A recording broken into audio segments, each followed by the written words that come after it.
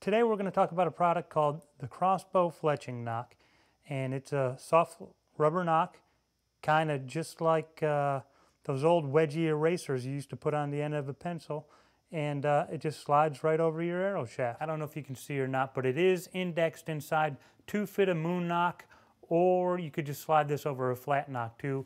And what it's used for is for you guys that have already got your arrows fletched up and uh, need to refletch arrows, it just slides right over the end um, of the shaft so that you can fletch your arrows without pulling out the uh, moon nock or pulling out your flat nock. So I'll show you how it works real quick.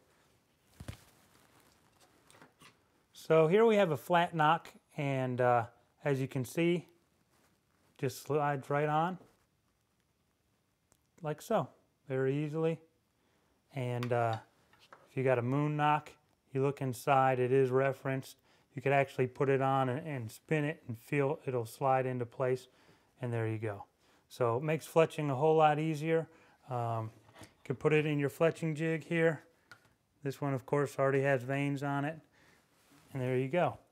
Uh, now this is a good tool for fletching and refletching arrows, although you need to pay a little bit more attention when you are fletching. Because it is rubber, it does have a little bit of play in it when you're pressing down on your clamp, but you really shouldn't need to press down that hard uh, to get your vanes to stick anyway. So uh, again, it's a cheap little tool. Uh, a lot of guys have been asking what they can do once they already have their nocks installed because they won't fit in a fletching jig. So this is a, a, cheap alternative. You could buy one of these things and uh, it'll get you going.